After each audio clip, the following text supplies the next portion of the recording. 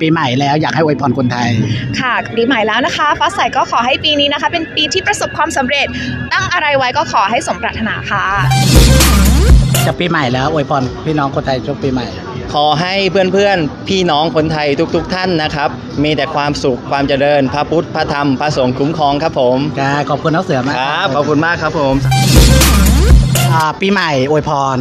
ก็ปีใหม่นี้นะคะเป็นปี 2556 ก็ขอให้คนไทยทุกคนมีความสุขสุขภาพแข็งแรงมาก ๆนะคะ แล้วก็ปลอดภัยจากโควิดค่ะ ขอบคุณน้องวิวมากค่ะขอบคุณค่ะอะใกล้จะปีใหม่แล้วอยากให้อวยพรประเทศไทยช่วงปีใหม่ ก็ขอให้ประเทศไทยกลับมาเป็น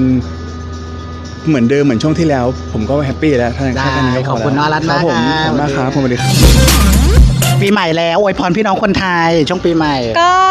ช่วงปีใหม่นะคะ ก็ขอให้ทุกคนมีสุขภาพร่างกายที่แข็งแรง มีความสุขมากๆ อะไรที่ไม่ดีทิ้งไว้ปีเก่าค่ะ ส่วนปีใหม่เรามาเริ่มปีใหม่ไปด้วยกันปังปุริเย่ไปด้วยกันเฮงๆปังๆรวยๆนะคะ และที่สำคัญเลยค่ะ ปีใหม่นี้นะคะ ทุกคนค่ะอย่าลืมดูแลสุขภาพนะคะ สุขภาพกายแล้วก็สุขภาพใจเป็นสิ่งสำคัญค่ะจ้าขอบคุณน้องเมย์มากค่ะสวัสดีค่ะ